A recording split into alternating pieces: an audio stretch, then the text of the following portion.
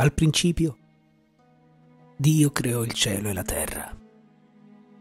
Il concetto stesso di principio di tutte le cose è alla base dell'astronomia e dell'astrofisica moderne. Affermare che prima dell'ordine esistevano il vuoto e il caos si conforma alle più recenti teorie secondo cui è il caos e non la stabilità permanente a governare l'universo. E poi c'è l'affermazione sul lampo di luce che diede inizio al processo della creazione.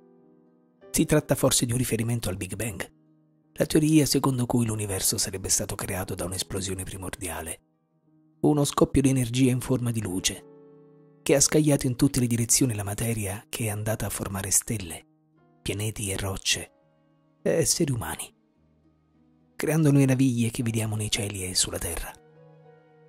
Alcuni scienziati affascinati dalle implicazioni della nostra maggiore fonte di ispirazione l'hanno ritenuto possibile. Ma allora come faceva l'uomo antico a conoscere la teoria del Big Bang così tanto tempo fa? O forse la narrazione della Bibbia tratta dei fatti più vicini, cioè di come si sono formati il nostro piccolo pianeta Terra e la zona celeste rifinita a firmamento o il bracciale cesellato. Anzitutto, come poteva l'uomo dell'antichità avere formulato una cosmogonia? Quanto sapeva veramente e in che modo l'aveva appreso?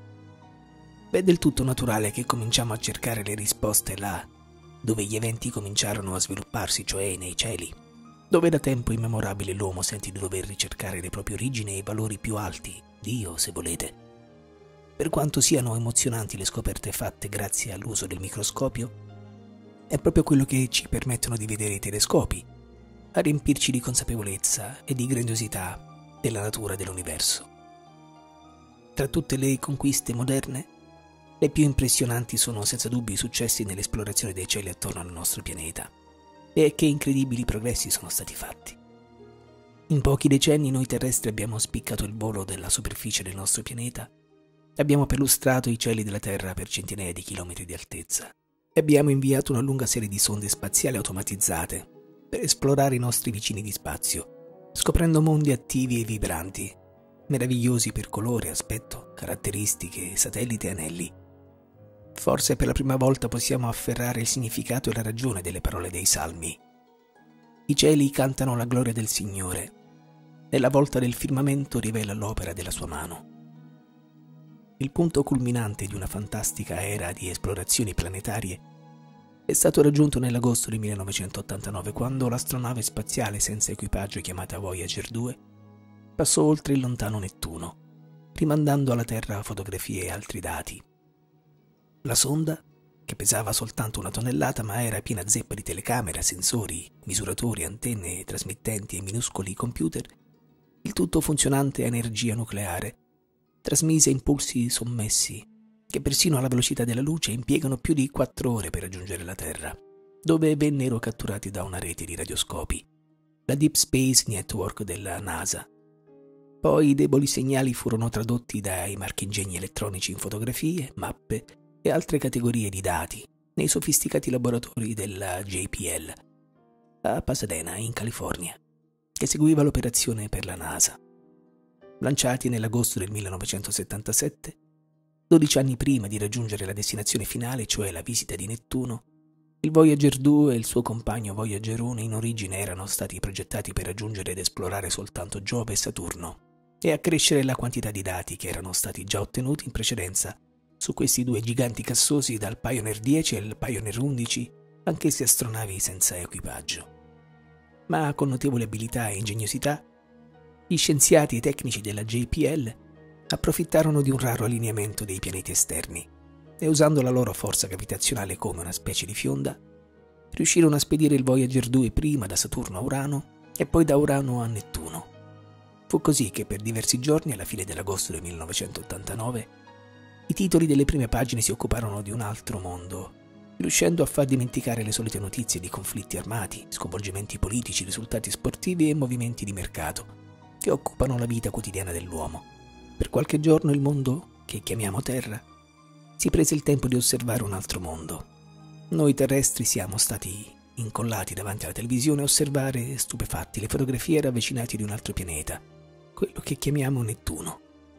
Mentre le scintillanti immagini del globo color acqua marina apparivano sui nostri schermi, i commentatori sottolineavano ripetutamente che per la prima volta l'uomo sulla Terra aveva la possibilità di osservare dal vero il pianeta che, persino ai migliori telescopi terrestri, appare come un puntino fiocamente illuminato nelle tenebre dello spazio, a quasi 5 miliardi di chilometri da noi. Ai telespettatori veniva ricordato che Nettuno era stato scoperto soltanto nel 1846, dopo che alcune perturbazioni dell'orbita del pianeta Urano, relativamente più vicino, avevano indicato l'esistenza di un altro corpo celeste. Dicevano che nessuno prima di allora, né Sir Isaac Newton né Giovanni Kepler, che avevano scoperto e formulato le leggi del moto dei corpi celesti nel XVII e XVIII secolo, né Copernico, che nel XVI secolo aveva determinato che è il Sole, non la Terra, il centro del nostro sistema planetario, né Galileo, che con un centinaio di anni più tardi usò un telescopio per annunciare che Giove aveva quattro lune. Insomma, Nessun grande astronomo fino alla metà del XIX secolo, e certamente nessuno prima di allora, avevano saputo dell'esistenza di Nettuno. E così non soltanto il telespettatore medio, ma anche gli astronomi stessi stavano per vedere ciò che non era mai stato possibile vedere fino ad allora. Sarebbe stata la prima occasione per contemplare i veri colori e il vero aspetto di Nettuno. Due mesi prima dell'appuntamento di agosto, però, avevo scritto un articolo per diverse riviste statunitensi europee e sudamericane, contraddicendo alcune nozioni da tempo radicate nell'opinione di tutti. Nettuno in verità era noto agli antichi, scrivevo, e le scoperte che sarebbero state fatte avrebbero potuto soltanto confermare la conoscenza antica. Nettuno, predissi, sarebbe stato di colore verde-azzurro, ricco di acqua, e avrebbe presentato macchie di vegetazione paludosa. I segnali elettronici del Voyager 2 confermarono tutto e anche dell'altro rivelarono un bellissimo pianeta verde-azzurro come un'acqua marina, avvolto da un'atmosfera di elio, idrogeno e gas metano, spazzato da venti impetuosi e velocissimi che facevano apparire timidi gli uragani della Terra. Sotto questa atmosfera apparivano misteriose ed enormi macchie confuse, di colorazione talvolta blu più scuro e talvolta di un verde giallastro, forse a seconda dell'angolo di incidenza dei raggi solari. Come previsto, L'atmosfera e la superficie avevano una temperatura inferiore allo zero, ma inaspettatamente si scoprì che Nettuno emette un calore proveniente dal cuore del pianeta. Contrariamente alle precedenti congetture che consideravano Nettuno un pianeta gassoso, il Voyager 2 determinò che il pianeta ha un nucleo roccioso al di sopra, del quale galleggia, secondo le parole degli scienziati della JPL, una poltiglia di acqua e ghiaccio. Questo strato di acqua che gira attorno al nucleo di roccia mentre il pianeta evolve nel suo giorno di 16 ore agisce come una dinamo creando un campo magnetico di notevoli proporzioni. Questo bellissimo pianeta appare circondato da numerosi anelli composti di massi, pietre e polvere, ed almeno otto satelliti o lune, che gli orbitano attorno. Di questi il più grande, Tritone, si è dimostrato non meno spettacolare del suo signore planetario.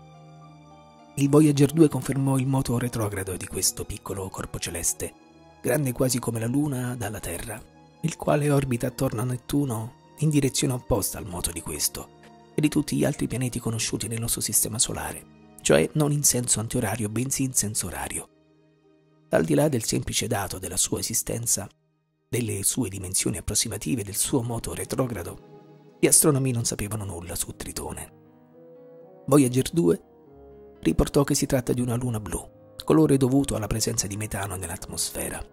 La superficie di Tritone mostra attraverso le sottili atmosfera una superficie color rosa grigio, con formazioni montuose e irregolari da un lato e distese piatte quasi senza alcun segno di crateri dall'altro lato. Fotografie ravvicinate suggeriscono una recente attività vulcanica, ma di tipo molto singolare. Quello che viene eruttato dalle profondità attive e ribollenti di questo corpo celeste non è lava fusa, bensì ghiaccio semisciolto a getti.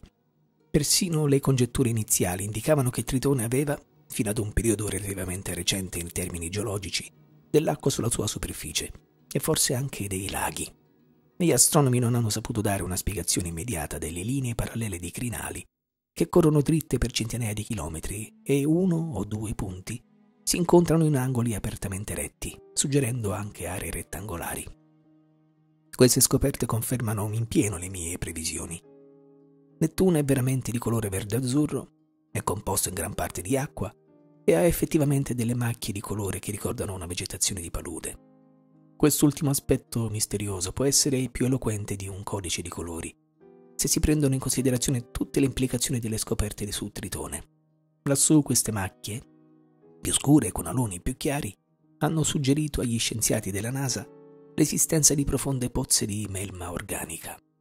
Bob Davis riferiva da Pasadena al Wall Street Journal che Tritone, la cui atmosfera contiene altrettanto nitrogeno di quello terrestre, può eruttare attraverso i suoi vulcani attivi non soltanto gas e acqua ghiacciata, ma anche materiale organico, composti a base di carbonio che sembrano ricoprire parte di Tritone.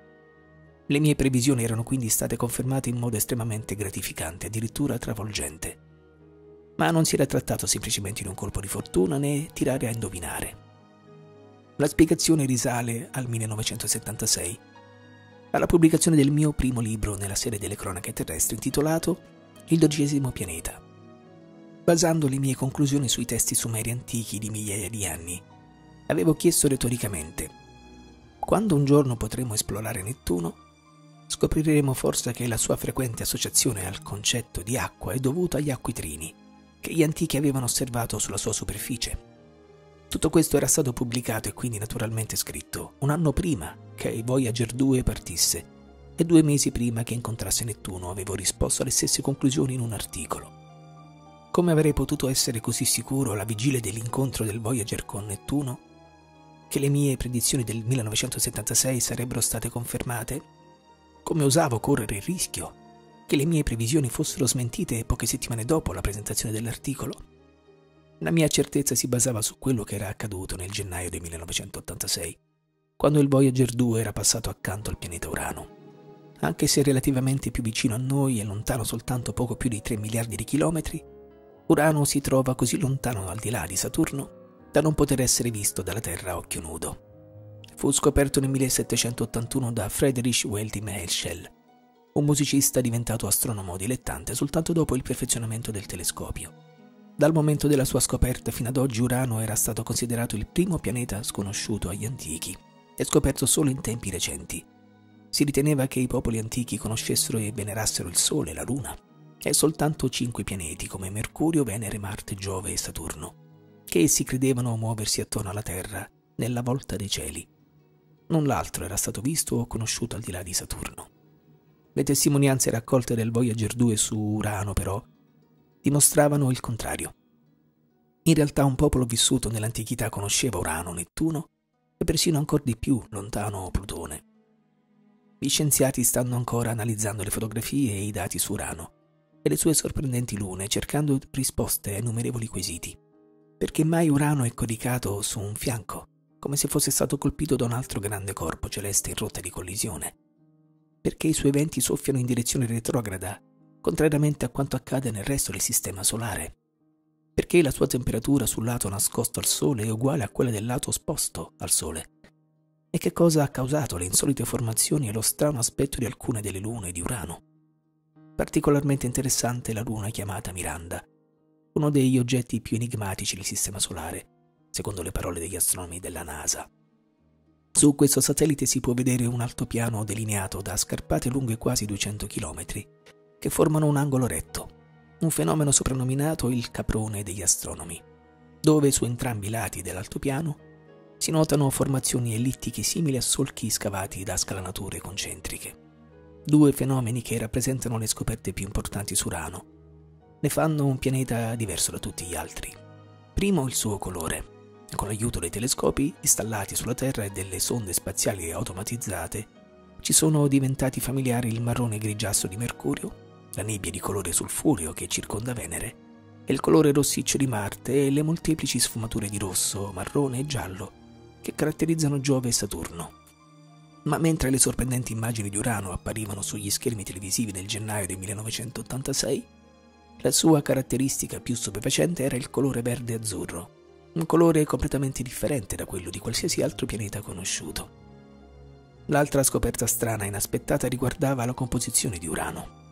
Contrariamente alle previsioni precedenti degli astronomi secondo i quali Urano era un pianeta completamente gassoso, come i giganti Giove e Saturno, il Voyager 2 dimostrò che il pianeta non era ricoperto da gas, bensì da acqua e non solo uno strato di acqua ghiacciata sulla sua superficie, ma un oceano di acqua. Un'atmosfera gassosa in effetti avvolge il pianeta, ma sotto di essa si agita un immenso strato, spesso quasi ai 10.000 km di acqua estremamente calda, con temperature che arrivano agli 8.000 gradi Fahrenheit, secondo le parole degli analisti della JPL. Questo oceano di acqua bollente allo stato liquido circonda un nucleo di roccia fusa, dove elementi radioattivi o altri processi sconosciuti producono l'immenso calore interno. Mentre le immagini di Urano si ingrandivano sullo schermo televisivo, man mano che il Voyager 2 si avvicinava al pianeta, il conduttore del programma fece notare il suo insolito colore verde-azzurro. Non potei fare a meno di esclamare ad alta voce: Oh Dio mio, esattamente come l'avevano descritto i Sumeri. Corsi nel mio studio a prendere una copia del libro Il dodicesimo pianeta e con mani tremanti cercai la pagina 269 e ho riletto diverse volte le righe che citavano i testi antichi. Sì, non c'era dubbio, anche se non avevano telescopi, i Sumeri avevano descritto Urano come Mashsig, un termine che avevo tradotto come verde brillante. Qualche giorno più tardi arrivarono i risultati delle analisi dei dati del Voyager 2 e i riferimenti dei Sumeri all'acqua su Urano vennero anch'essi confermati. Sembrava infatti che ci fosse acqua dappertutto, come riportava il programma riassunto dalla serie televisiva Nova, Pianeta rovesciato sul fianco. Il Voyager 2 aveva scoperto che tutte le lune di Urano sono composte da roccia e normale acqua ghiacciata. Questa abbondanza o anche la semplice presenza di acqua su pianeti ritenuti gassosi e sui loro satelliti ai confini del Sistema Solare era una scoperta del tutto inaspettata. Eppure, ecco qui la prova, presentata nel dodicesimo pianeta, che nei loro testi vecchi di millenni gli antichi sumeri non solo avevano riconosciuto l'esistenza di Urano, ma avevano anche accuratamente descritto il suo colore verde-azzurro e le sue acque. Cosa significa tutto questo? Significa che nel 1986 la scienza moderna non aveva scoperto qualcosa di ignoto, aveva piuttosto riscoperto quello che la scienza antica già sapeva. Fu dunque la conferma data nel 1986 ai miei scritti del 1976 e quindi alla veracità dei testi sumeri che mi diede la sicurezza necessaria per predire alla vigilia dell'incontro di Voyager 2 con Nettuno che cosa si sarebbe scoperto. Dai raccolti dal Voyager 2 su Urano e Nettuno avevano così ratificato non soltanto l'antica conoscenza sull'esistenza stessa dei due pianeti esterni, ma anche gli importantissimi dettagli sulla loro conformazione. L'avvicinamento di Nettuno, nel 1989, portò ulteriori conferme ai testi antichi, dove Nettuno era elencato prima di Urano, come ci si aspetterebbe da qualcuno che entra nel Sistema Solare e che quindi vede prima Plutone, poi Nettuno e quindi Urano. In questi testi o liste planetarie, Urano viene chiamato Kakab Shannam, il pianeta doppio di Nettuno. I dati del Voyager confermano ampiamente questa antica nozione Urano è effettivamente molto simile di aspetto a Nettuno, per colore, dimensione e contenuto di acqua. Entrambi i pianeti sono circondati da anelli e da una moltitudine di satelliti o lune, che orbitano attorno a loro. È stata riscontrata anche un'inattesa somiglianza dei campi magnetici dei due pianeti. Entrambi hanno un'inclinazione insolitamente estrema relativamente all'asse di rotazione del pianeta, 58 gradi per Urano e 50 gradi per Nettuno. Nettuno Sembra quasi il gemello magnetico di Urano, riportava John Noble nel New York Times. I due pianeti sono simili anche per la lunghezza dei loro giorni, che durano 16-17 ore. I terribili venti di Nettuno e la poltiglia di acqua ghiacciata che copre la sua superficie dimostrano l'enorme calore generato dal pianeta, proprio come per Urano. In effetti i resoconti della JPL affermano che i valori iniziali delle temperature indicano che le temperature di Nettuno sono simili a quelle di Urano che si trova quasi 2 miliardi di chilometri più vicino al Sole. Perciò gli scienziati hanno pensato che in qualche modo Nettuno stia generando più calore interno di quanto faccia Urano, compensando in qualche modo la maggior distanza dal Sole per raggiungere la stessa temperatura di Urano, con risultato di temperature simili sui due pianeti, il che va ad aggiungersi alle altre somiglianze di dimensioni che rendono Urano un gemello di Nettuno. Il pianeta doppio, dicevano i sumeri di Urano paragonandolo a Nettuno. Le dimensioni e le altre caratteristiche che fanno di Urano un gemello di Nettuno annunciavano gli scienziati della NASA. E non soltanto le caratteristiche descritte, ma persino la terminologia, il pianeta doppio, il gemello di Nettuno. Sono le stesse.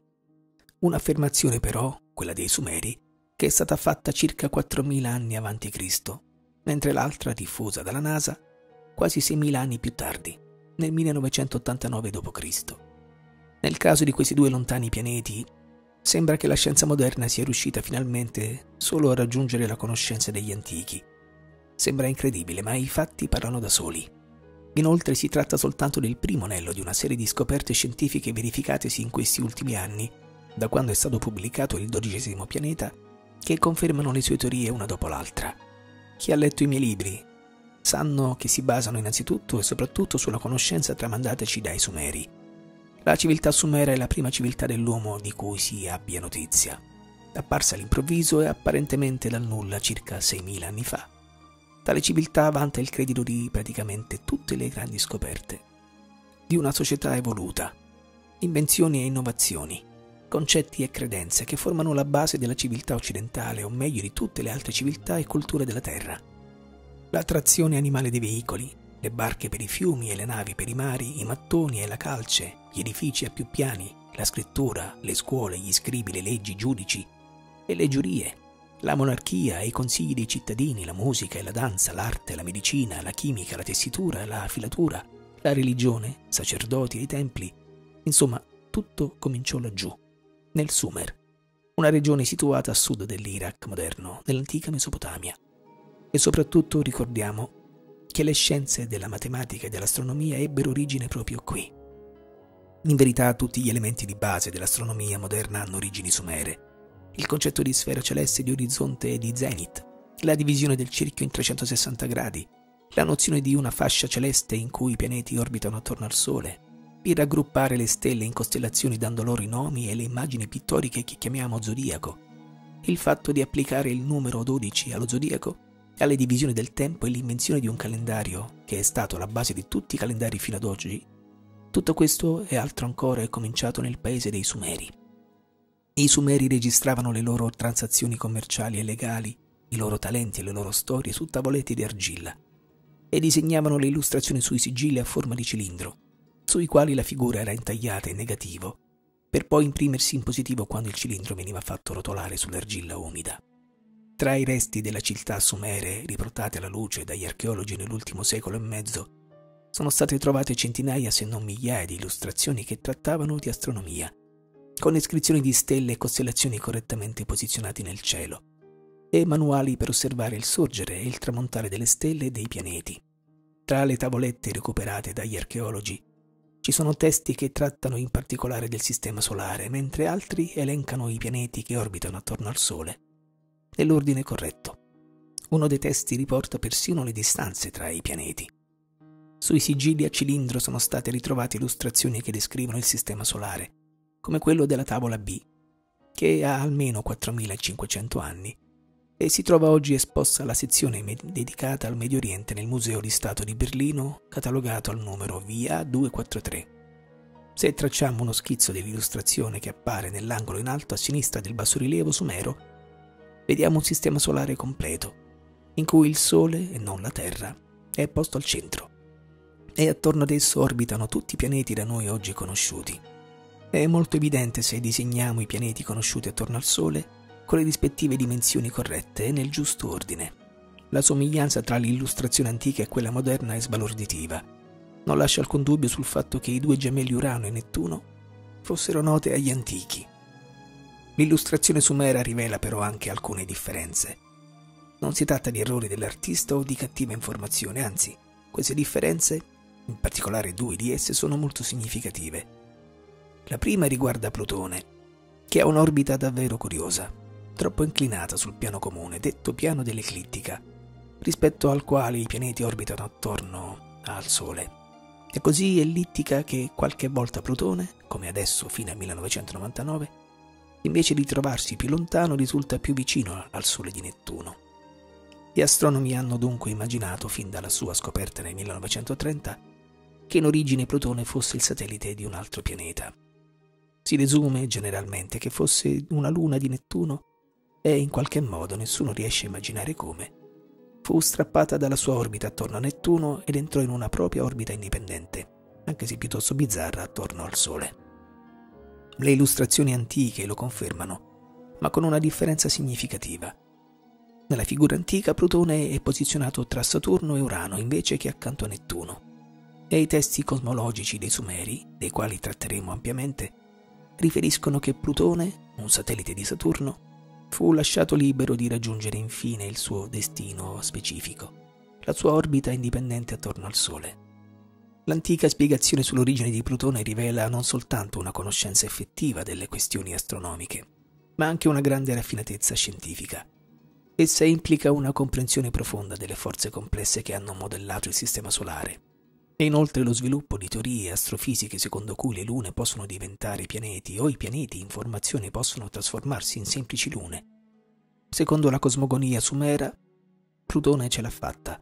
La nostra luna che stava per diventare un pianeta indipendente, fu invece ostacolata da qualche evento celeste e non poté raggiungere tale posizione di indipendenza. Gli astronomi moderni sono passati dalle semplici teorie alla convinzione che questo sia effettivamente quanto è accaduto nel nostro sistema solare.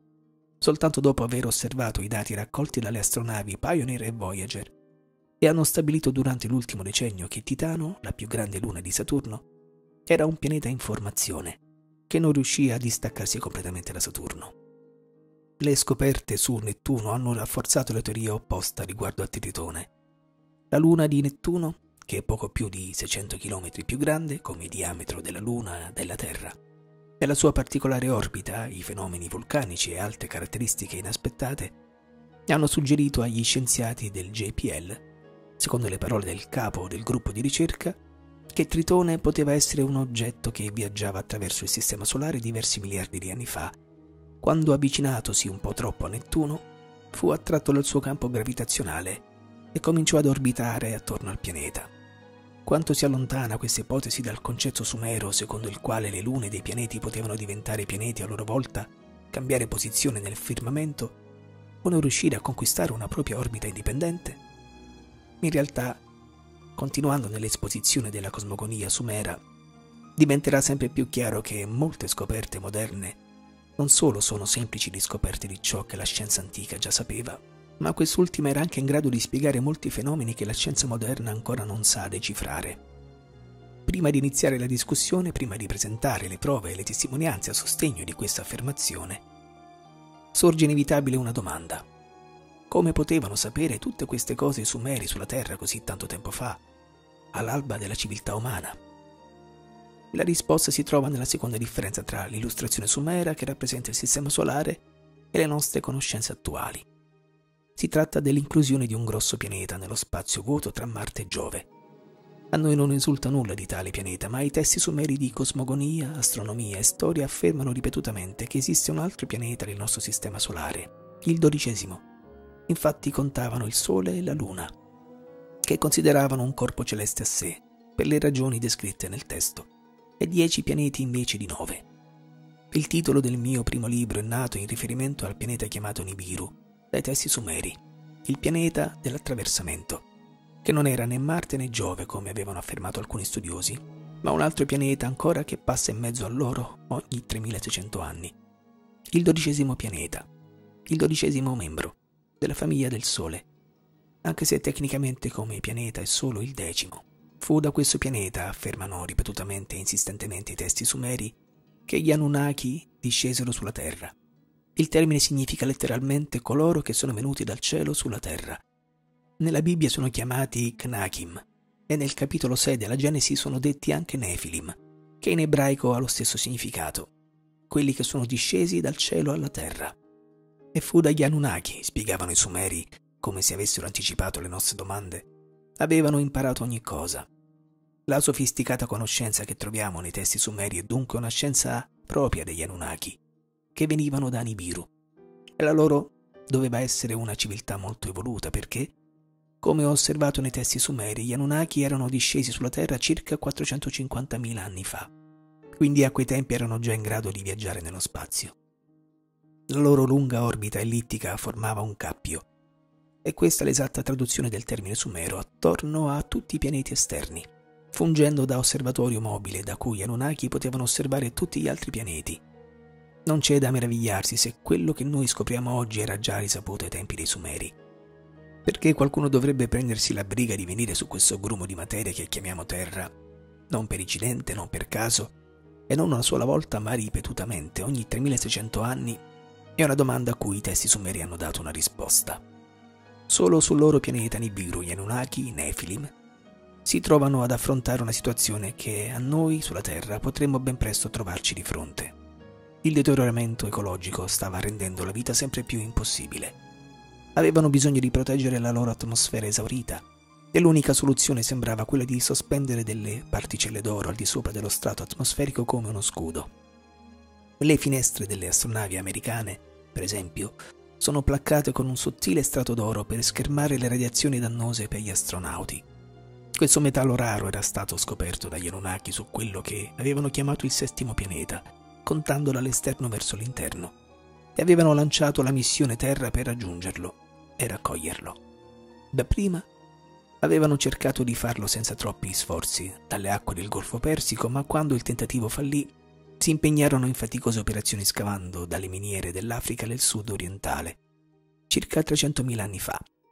Gli Anunnaki assegnati alle miniere africane si ammutinarono Fu allora che lo scienziato capo e ufficiale medico degli Anunnaki usarono la manipolazione genetica e le tecniche di fertilizzazione in vitro per creare dei lavoratori primitivi, il primo Homo sapiens, da utilizzare nelle estenuanti opere di estrazione dell'oro. I testi sumeri che descrivono tutti questi eventi e la loro visione condensata nel libro della Genesi sono stati trattati ampiamente nel dodicesimo pianeta.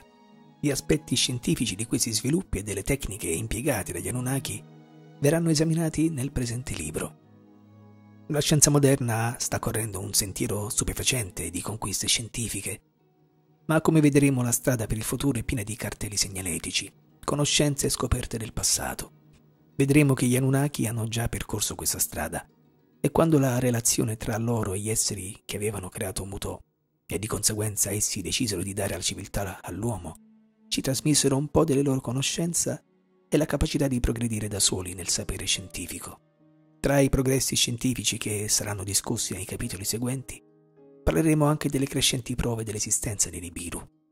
Se non fosse per il dodicesimo pianeta, la scoperta di Nibiru sarebbe un grande evento dell'astronomia, non più importante però per la nostra vita quotidiana di quanto sia stata ad esempio la scoperta di Plutone nel 1930. È stata una bella cosa sapere che il Sistema Solare aveva un pianeta in più lassù, e sarebbe ugualmente gratificante scoprire che i pianeti non sono nove, bensì dieci. Soprattutto farebbe piacere agli astrologi, che hanno bisogno di dodici corpi celesti, non di undici soltanto, per le dodici case dello zodiaco. Ma dopo la pubblicazione del dodicesimo pianeta, con le prove in esso contenute, che non sono state rifutate da nessuno dopo la sua prima edizione del 1976, e le dimostrazioni seguite ai progressi scientifici da allora realizzati, la scoperta di Nibiru non può rimanere semplicemente confinata ai libri di testo dell'astronomia. Se ciò che ho scritto è vero, se in altre parole i Sumeri avevano ragione nell'affermare ciò che affermavano, la scoperta di Nibiru significherebbe non soltanto che c'è un altro pianeta lassù, ma che c'è anche la vita. Confermerebbe inoltre che là fuori ci sono esseri intelligenti, persone così progredite che quasi mezzo milione di anni fa potevano viaggiare nello spazio gente che andava e veniva dal proprio pianeta e la Terra ogni 3600 anni. È l'identità, non soltanto l'esistenza di chi abita su Nibiru, che è destinata a scuotere l'ordine esistente qui sulla Terra, in campo politico, religioso, sociale, economico e militare. E quali saranno le ripercussioni di quando e non di se Nibiru verrà scoperto? Che ci crediate o no, si tratta di una domanda che è già stata ponderata. Esistono prove del fatto che nell'Africa meridionale, nel Paleolitico, ci fossero delle miniere? Gli studi archeologici dimostrano che era così. La maggior compagnia mineraria del Sudafrica, la Anglo American Corporation, valutando la possibilità concreta che la collocazione delle antiche miniere abbandonate segnalasse delle concentrazioni d'oro, nel 1970 reclutò un gruppo di archeologi perché andassero a riscoprire le antiche miniere. La pubblicazione dei risultati delle ricerche riporta in dettaglio la scoperta dello Switzerland e in altre località del Sudafrica di estese aree minerarie con gallerie di una profondità di quasi 20 metri. I resti di carbone e gli oggetti in pietra stabiliscono per questi insediamenti una datazione intorno al 35.000, 46.000 e 60.000 a.C. Gli archeologi e gli antropologi che hanno lavorato a datare i reperti sono convinti che la tecnologia mineraria venne impiegata nell'Africa meridionale per gran parte del periodo successivo ai 100.000 a.C. Nel settembre del 1988 una squadra di fisici internazionali arrivò in Sudafrica per verificare la datazione degli insediamenti umani nello Swaziland e nello Zululand. Le tecniche più moderne di datazione indicarono un'età fra gli 80.000 e i 115.000 anni. Riguardo alle miniere d'oro più antiche di Monotapa, nello Zimbabwe del Sud, le leggende Zulu affermano che erano utilizzate da schiavi di carne e sangue, prodotti artificialmente creati dalla prima gente. Questi schiavi, raccontano le leggende Zulu, scesero in battaglia con l'uomo scimmia, quando la grande guerra stellare apparve nel cielo.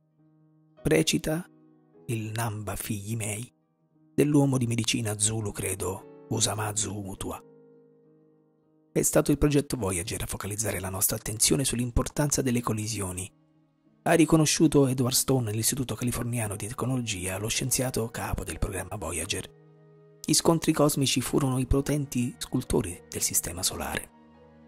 Ebbene, i Sumeri avevano chiarito, 6.000 anni prima, lo stesso identico fatto. Il centro della loro cosmogonia, della loro visione del mondo e della loro religione, era un evento catastrofico che chiamavano la battaglia celeste.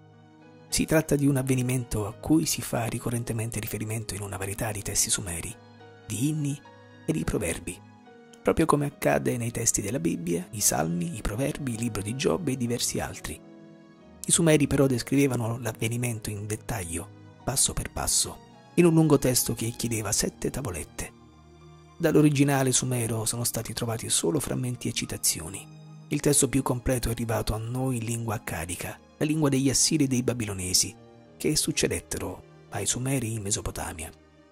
Il testo tratta della formazione del sistema solare prima della battaglia celeste e inoltre della natura, delle cause e dei risultati della collisione.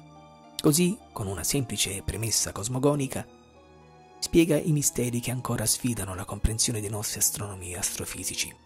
Ma ancora più importante, ogni volta che gli scienziati moderni sono arrivati a delle risposte soddisfacenti, le scoperte coincidono con la versione sumera e la confermano. Fino alle scoperte del Voyager il punto di vista scientifico imperante considerava il sistema solare quale lo vediamo oggi come il modo in cui si era disposto poco dopo la sua origine, secondo le leggi immutabili del moto celeste e della forza di gravità.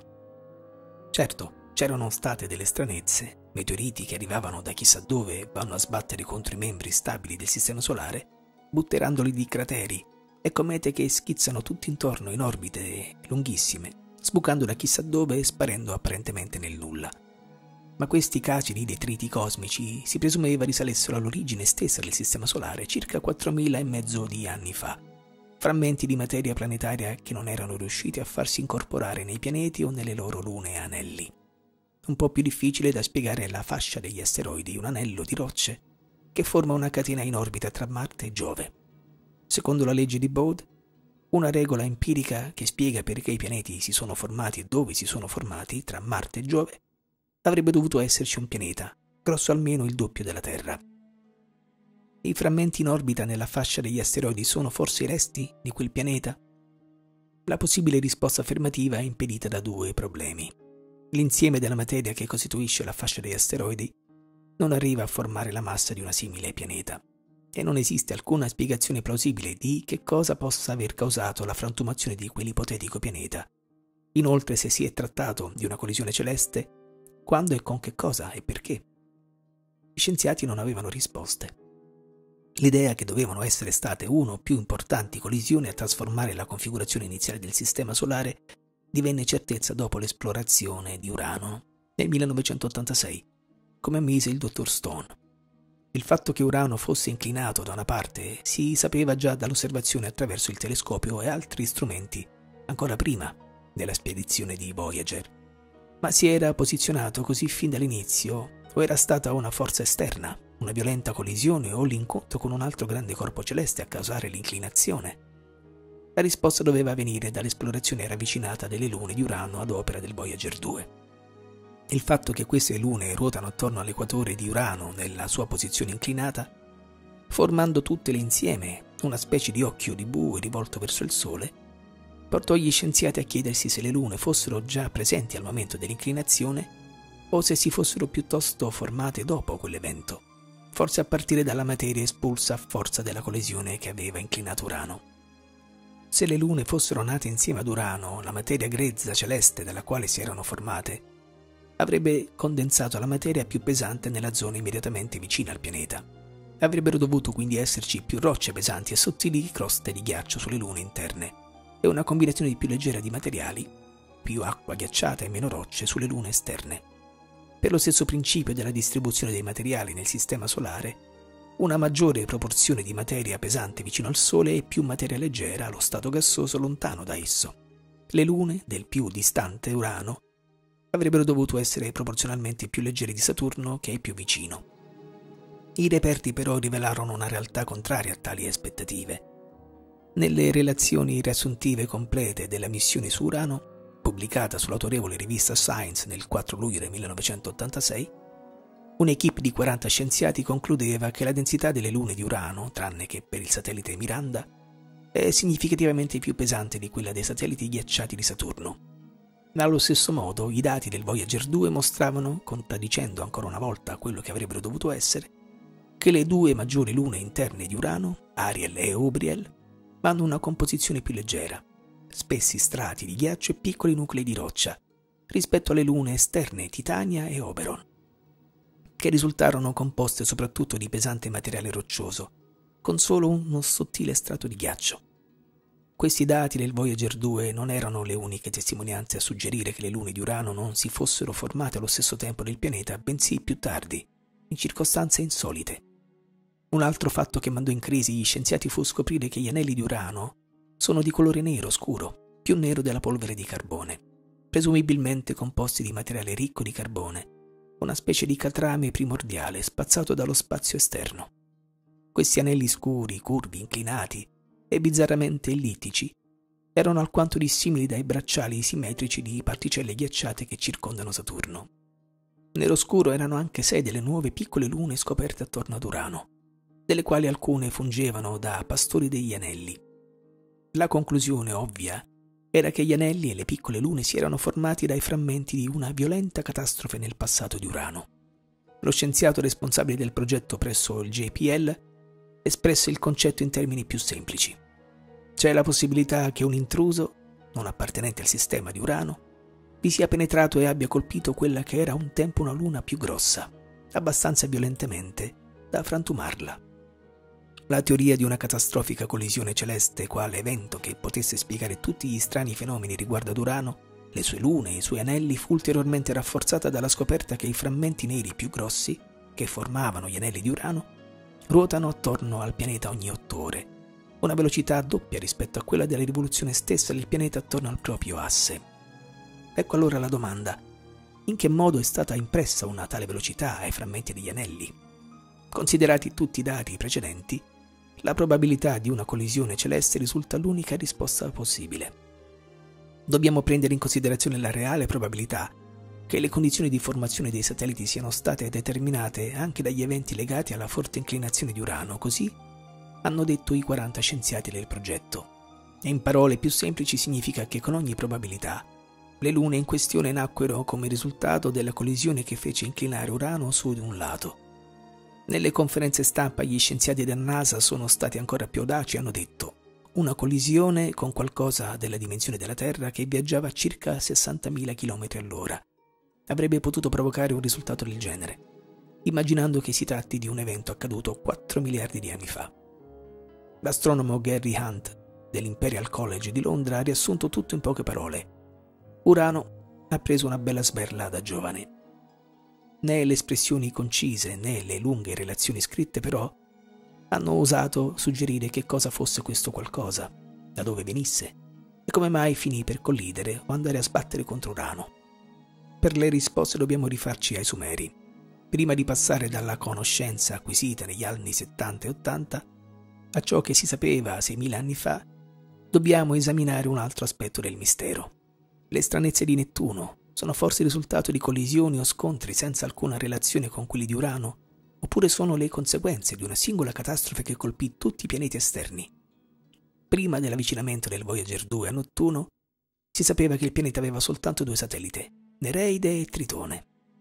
Nereide risultò avere una strana orbita, insolitamente inclinata rispetto al piano equatoriale del pianeta, di ben 28 gradi, e molto eccentrica, poiché invece di girare attorno al pianeta con un movimento quasi circolare, segue un percorso molto allungato che porta la Luna fino a quasi 10 milioni di chilometri da Nettuno, per poi riavvicinarla ad un milione e 600 mila chilometri da esso. Benché, secondo le regole della formazione dei pianeti, per le sue dimensioni avrebbe dovuto essere sferica, Nereide ha una forma molto curiosa, simile ad una ciambella ritorta. Inoltre è brillante da una parte e nero scuro dall'altra. Tutte queste particolarità hanno portato Martin Schilfeld e Brady Schuyler a concludere in un importante saggio sull'argomento pubblicato sulla rivista Nature del 2 giugno 1987 che Nereide ebbe una collisione con una luna attorno a Nettuno o un altro pianeta e che lei e Tritone furono sbalzati dalla loro curiosa orbita da qualche grosso pianeta o corpo celeste. Immaginate, commenta Brad Sheffer, che una volta Nettuno avesse un normale sistema di satelliti come quello di Giove e di Saturno e poi sia arrivato un grosso oggetto che, penetrando dal sistema, abbia sconvolto tutto. Il materiale scuro che si osserva su un lato di Nereide si poteva spiegare in due modi possibili, ma entrambi presuppongono che sia avvenuta una collisione. O un impatto su un lato del satellite ha spazzato via uno strato esterno più scuro che lo ricopriva, mettendo a nudo del materiale sottostante più brillante, oppure la materia oscura apparteneva al corpo estraneo ed è andata ad impastarsi su un lato di Nereide. La seconda possibilità è più plausibile come suggerisce la scoperta annunciata dall'equipe del JPL il 29 agosto 1987, che tutti i nuovi satelliti, sei in più, trovati dal Voyager 2 su Nettuno, sono molto scuri e hanno tutti una forma irregolare. Anche la luna designata 1989 N1, che normalmente per le sue dimensioni avrebbe dovuto essere sferica ma anche le teorie riguardo a Tritone e alla sua orbita allungata e retrograda in senso orario attorno a Nettuno sono plausibili solo se si presuppone una collisione. In questo scenario l'originale piccola luna di Nettuno sarebbe stata divorata da Tritone, ma la forza della loro collisione avrebbe causato il dissiparsi dell'energia orbitale di Tritone in una misura tale da rallentare la corsa del proiettile e permettere che fosse catturato dalla gravità di Nettuno ma un'altra teoria per cui Tritone sarebbe stato un satellite originale di Nettuno risultò fallace. In base a questo studio è incapace di reggere un'analisi critica. I dati raccolti dal Voyager 2 durante l'effettiva esplorazione di Tritone appoggiarono questa teoria. Erano inoltre compatibili con altri studi, che avevano dimostrato perché il calore interno di Tritone e le caratteristiche della sua superficie si potessero spiegare soltanto con una collisione in cui Tritone fosse stato catturato nell'orbita di Nettuno da dove venivano i corpi celesti che provocarono la catastrofe? La domanda è rimasta senza risposta. Senza risposta è anche la questione del cataclisma di Urano e di quello di Nettuno. Sono diversi aspetti di un unico evento. Oppure sono incidenti senza alcun legame tra di loro. Non è ironico, ma anzi gratificante scoprire che le risposte a tutti questi misteri erano già fornite dagli antichi testi dei Sumeri e che tutti i dati scoperti dai voli dei Voyager sostengono e confermano le conoscenze degli antichi Sumeri. La scienza dei Sumeri parla di un solo grande evento all'origine di tutto. I loro testi spiegano più di quanto i moderni astronomi siano riusciti anche solo a concepire riguardo ai pianeti esterni. Gli antichi testi illustrano inoltre questioni a noi più vicine, come ad esempio l'origine della Terra e della Luna, della fascia degli asteroidi e delle comete. Poi raccontano una storia che combina il credo dei creazionisti con la teoria dell'evoluzione, una storia che fornisce una spiegazione molto più soddisfacente di qualsiasi concezione moderna su ciò che è accaduto sulla Terra e su come siano apparsi l'uomo e la sua civiltà. Tutto cominciò, riportano i testi sumeri, quando il sistema solare era ancora giovane. Il Sole, nei testi sumeri Apsu, che significa quello che esiste fin dall'inizio, il suo piccolo compagno Mummo, quello che è nato il nostro Mercurio, e più lontano Tiamat, la fanciulla della vita, erano i primi membri della famiglia del Sistema Solare. Gradualmente il sistema si espanse con la nascita delle tre coppie di pianeti, quelli che chiamiamo Venere e Marte tra Mummu e Tiamat.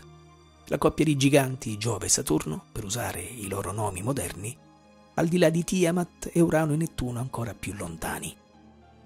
All'interno di questo sistema solare originale, ancora instabile a poco a poco dalla sua formazione, apparve un invasore. I Sumeri lo chiamavano Nibiru e i babilonesi lo ribattezzarono Marduk in onore del loro dio nazionale. Apparve dallo spazio esterno dal profondo per usare le parole dei testi antichi. Mentre si avvicinava ai pianeti esterni del nostro sistema solare, però, cominciò ad essere attratto. Come si poteva prevedere, il primo pianeta esterno ad attrarre Nibiru con il suo campo gravitazionale fu Nettuno, detto Ea, quello che abita nell'acqua in sumero. Chi lo generò fu Ea, spiegano gli antichi testi. Nibiru era in sé uno spettacolo, affascinante, scintillante, nobile, dominatore. Sono alcuni degli aggettivi usati per descriverlo. Lanciava scintille e lampi su Urano e Nettuno mentre passava loro accanto. Può essere arrivato con i suoi satelliti già in orbita attorno a lui, oppure può averne acquisiti alcuni come risultato dell'attrazione gravitazionale dei pianeti esterni. I testi antichi parlano delle sue membra perfette, difficili da percepire. Quattro erano i suoi occhi, quattro le sue orecchie. Mentre passava accanto a Ea, Nettuno, Nibiru cominciò a manifestare un'escrescenza laterale, come se avesse una seconda testa. Fu proprio questa sporgenza a strappare via e diventare Tritone, la luna di Nettuno. Un elemento indiscutibilmente a favore di questa versione è il fatto che Nibiru entrò nel sistema solare in un'orbita retrograda, in senso orario contraria al senso di Maroia degli altri pianeti. Soltanto questo dettaglio fornito dai Sumeri, per cui il pianeta invasore si muoveva al contrario del senso orbitale di tutti gli altri pianeti, può spiegare il moto retrogrado di Tritone, le orbite estremamente ellittiche degli altri satelliti e delle comete, e altre importanti realtà che dobbiamo ancora affrontare. Altri satelliti furono creati mentre Nibiru passava accanto ad Anu, Urano. Descrivendo il passaggio di Urano, il testo afferma che Anu generò i quattro venti, un riferimento chiarissimo alle quattro principali lune di Urano che si formarono, come sappiamo oggi, soltanto durante la collisione che fece inclinare Urano. Allo stesso tempo apprendiamo da un passaggio successivo del testo antico che Nibiru stesso acquisì tre satelliti come risultato di quell'incontro. Sebbene i testi sumeri descrivano in che modo, dopo essere stato finalmente catturato nell'orbita solare, Nibiru visitò nuovamente i pianeti esterni, modellandoli infine nel sistema così come lo conosciamo oggi. Il primo incontro già da solo spiega i diversi misteri sui quali si arrovelano gli astronomi moderni a proposito di Nettuno Urano, le loro lune e i loro anelli. Dopo aver oltrepassato Nettuno e Urano, Nibiru fu trascinato sempre più verso il centro del sistema planetario, entrando nell'immenso campo gravitazionale di Saturno, Ashar, il dominatore dei cieli, e di Giove, Kishar, il dominatore delle terraferme. Mentre Nibiru avanzava ergendosi come per il combattimento vicino ad Ashar, Saturno, i due pianeti si baciarono sulle labbra. Fu allora che il destino, cioè il sentiero orbitale di Nibiru, cambiò per sempre. E fu allora che anche il principale satellite di Saturno, Gaga, che doveva diventare Plutone, fu trascinato via verso Marte e Venere, una direzione possibile soltanto grazie alla forza retrograda di Nibiru. Formando una vasta orbita ellittica, Gaga tornò infine ai margini del Sistema Solare e là si rivolse a Nettuno e Urano, mentre passava accanto alla loro orbita. Fu l'inizio del processo per cui Gaga divenne il nostro Plutone, con la sua curiosa orbita inclinata che a volte lo porta a metà strada tra Nettuno e Urano. Il nuovo destino, il nuovo sentiero orbitale di Nibiru, era ormai inevitabilmente diretto verso il vecchio pianeta Tiamat. In quel periodo abbastanza agli inizi della formazione del Sistema Solare, sussistevano notevoli condizioni di instabilità, specialmente, come ci insegnano i testi, nell'area di Tiamat. Mentre i pianeti vicini continuavano a muoversi nelle loro orbite, Tiamat era attratta in diverse direzioni dai due giganti dietro di lei e dai due pianeti più piccoli tra lei e il Sole. Ne risultò la dispersione o la raccolta intorno a lei di una schiera di satelliti furiosi di rabbia, nel linguaggio poetico del testo battezzato dagli studiosi epica della creazione. Questi satelliti, mostri ruggenti vestiti di terrore e incoronati da un'aureola, ruotavano furiosamente orbitando come se fossero degli dei celesti. La più grande insidia alla stabilità e alla sicurezza degli altri pianeti era il capo delle schiere di Tiamat. un grosso satellite che era arrivato quasi a dimensioni planetarie e che stava per raggiungere il proprio destino indipendente, la propria orbita attorno al Sole. Tiamat gli gettò un incantesimo perché potesse scendere dagli dei del cielo e lo glorificò. Fu chiamato in lingua sumera Kingu, il grande emissario. Qui il testo stende un velo sul dramma planetario. L'ho raccontato passo per passo nel dodicesimo pianeta. E come accade nelle tragedie greche, la battaglia celeste successiva era inevitabile. E mentre le forze magnetiche e gravitazionali entravano inesorabilmente in gioco portando alla collisione tra Nibiru, che avanzava con i suoi sette satelliti, e Tiamat, con la sua schiera di undici satelliti guidati da Kingu.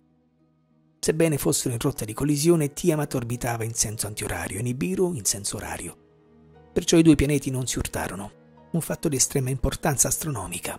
Furono i satelliti, o i venti, significato letterale sumero di quello che fiancheggiavano, di Nibiru che si sfacellarono contro Tiamat ed entrarono in collisione con i suoi satelliti. Ecco le parole dei testi sumeri. I quattro venti schierò perché nulla di lei potesse sfuggire il vento del sud, il vento del nord, il vento dell'est, il vento dell'ovest. Accanto al proprio fianco stese la rete, il dono dell'antenato Anu che aveva creato il vento malvagio, il vortice e l'uragano. Egli fece avanzare i venti che aveva creato, tutti e sette, per affliggere Tiamat. Dall'interno si alzarono dietro di lui. Questi venti o satelliti di Nibiru, tutti e sette, erano le principali armi con le quali Tiamat fu attaccata nella prima fase della battaglia celeste ma il pianeta invasore aveva anche altre armi. Continua il testo. Davanti a lui pose il fulmine. Con una fiamma ardente riempì il proprio corpo. Poi stese una rete che avvolge Tiamat. Un terribile splendore avvolgeva il suo capo come un turbante di fuoco e un grande terrore lo avviluppava come un mantello. Mentre i due pianeti con le loro schiere di satelliti si avvicinavano abbastanza da permettere a Nibiru di percepire lo schema di Kingu, Nibiru attaccò Tiamat con la sua rete il campo magnetico forse, per avvolgerla e lanciando sui vecchi pianeti mani scariche elettriche, i fulmini divini, e Tiamat fu riempita di splendore, rallentando, riscaldandosi e distendendosi. Ampie fessure si aprirono nella sua crosta, probabilmente liberando vapore e materia vulcanica. In una crepa che si apriva, Nibiru lanciò uno dei suoi principali satelliti, quello chiamato il vento malvagio, che squarciò il ventre di Tiamat, strappò il suo interiore e le spezzò il cuore. Oltre a spezzare Tiamat e a spegnere la sua vita, il primo scontro sigillò il fato delle piccole lune che orbitavano attorno, tutte tranne il grosso Kingu. Presi nella rete l'attrazione magnetica e gravitazionale di Nibiru, frantumati e spezzati, i membri della banda di Tiamat furono gettati lontano dalla loro strada precedente e costretti in nuovi sentieri orbitali nella direzione opposta, tremanti di paura, volsero le spalle. E in questo modo nacquero le comete. Così apprendiamo da un testo vecchio di 6.000 anni, le comete ottennero la loro orbita estremamente ellittica e retrograda. Per quanto riguarda Kingu, il principale satellite di Tiamat, il testo ci informa che nella prima fase della collisione celeste Kingu fu semplicemente privato della sua orbita quasi indipendente. Nibiru lo allontanò dal suo destino. Nibiru rese Kingu una Duggae, una massa di argilla senza vita, prima di atmosfera, di acqua e materiali radioattive, molto ridotta nelle dimensioni, e legò con catene a rimanere nell'orbita attorno alla sconfitta Tiamat. Dopo aver vinto Tiamat, Nibiru partì per un nuovo destino. Il testo sumero non lascia dubbi sul fatto che il nuovo invasore orbitava attorno al Sole. Attraversò i cieli ed esplorò le loro regioni, misurando la dimora di Apsu, il Signore misurò le dimensioni di Apsu. Avendo compiuto un giro intorno al Sole, Apsu appunto, Nibiru proseguì la sua corsa nello spazio lontano. Ora però, preso per sempre nell'orbita solare, era costretto a tornare e al suo ritorno Ea, Nettuno, era pronto ad accogliere Ashar, Saturno, salutò la sua vittoria. Poi il suo nuovo sentiero orbitale lo riportò sulla scena della battaglia celeste e tornò verso Tiamat che aveva legato.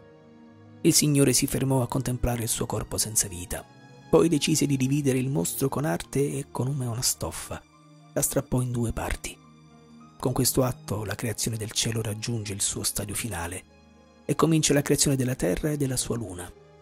Dapprima i nuovi impatti spezzarono Tiamat in due parti. La parte superiore, il suo cranio, fu colpito dal satellite di Nibiru. chiamato il vento del nord, il cui corpo trasportò il pianeta e con esso Kingo in luoghi sconosciuti, in un'orbita nuova di zecca dove prima non c'era mai stato nessun pianeta. Erano così state create la Terra e la nostra Luna. L'altra metà di Tiamat fu ridotta in frantumi dal secondo impatto. Questa metà inferiore, la sua coda, fu martellata insieme per diventare un bracciale cesellato nei cieli. Incatenando i pezzi insieme, come un custode restò accanto a loro. Piegò la coda di Tiamat per formare la grande fascia come un bracciale. Così fu creata la grande fascia, la fascia degli asteroidi. Dopo aver sistemato Tiamat e Kingu, Nibiru tornò ad attraversare i cieli, controllando le loro regioni. E questa volta la sua attenzione si concentrò sulla dimora di Ea, Nettuno, dando a questo pianeta e il suo gemello, Urano, il loro aspetto definitivo. E fu sempre Nibiru, secondo il testo antico, a dare a Gaga, Plutone, il suo destino finale, assegnandogli un posto nascosto, una regione dei cieli sconosciuta fino ad allora. Era ancora più lontano della posizione di Nettuno, nel profondo. Ci viene detto nello spazio lontano. In accordo alla sua nuova posizione di pianeta estremo, Plutone ottenne un nuovo nome, Usmi, quello che mostra la via il primo pianeta che si incontra entrando nel sistema solare dall'esterno, in altre parole dallo spazio esterno verso il Sole. Così Plutone fu creato e immesso nell'orbita che occupa tuttora. Dopo aver costruito le stazioni per i pianeti, Nibiru preparò due dimore per se stesso. Una era nel firmamento, come era chiamata nei testi antichi, la fascia degli asteroidi, l'altra molto più lontano, nel profondo, e fu definita la grande distante dimora, cioè Esharra dimora del governante principe. Gli astronomi moderni chiamano queste due posizioni planetarie il perigeo, il punto orbitale vicino al Sole, e l'apogeo, il punto più lontano. Si tratta di un'orbita che richiede 3600 anni terrestri per essere completata. Così, l'invasore venuto dallo spazio esterno divenne il dodicesimo pianeta membro del Sistema Solare, un sistema composto dal Sole al centro, con il suo antico compagno Mercurio le tre vecchie coppie di gemelli Venere, Marte, Giove, Saturno, Urano e Nettuno, la Terra e la Luna, i resti della grande Tiamat, anche se in una nuova posizione. Plutone, con la sua nuova indipendenza, è il pianeta che aveva sistemato tutti nella loro posizione finale, e Nibiru. L'astronomia moderna e le sue recenti scoperte avvalorano e confermano questo racconto antico di millenni.